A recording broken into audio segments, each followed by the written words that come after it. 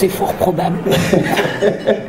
c'est fort probable, mais après, euh, je pense que dans notre tête, on ne s'était pas préparé, je veux dire, spécialement à ce que ce soit un match très très très difficile.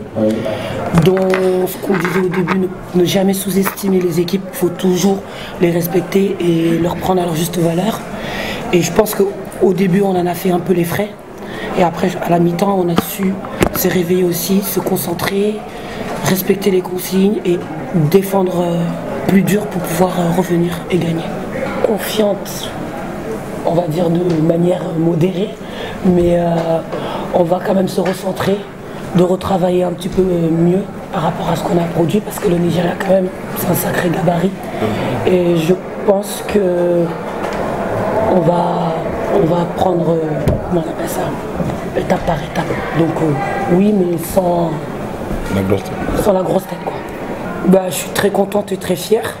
Et euh, j'estime que je participe aussi en même temps à cette victoire, même si je veux dire, voilà, le temps de jeu, c'est pas quelque chose d'important.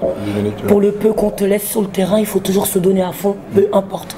Que ce soit en défense ou que ce soit euh, en attaque, il faut toujours se donner à fond. Donc moi, je suis assez satisfaite de, de ce que j'ai produit ce soir, en espérant continuer quand même dans la finale avec. Absolument.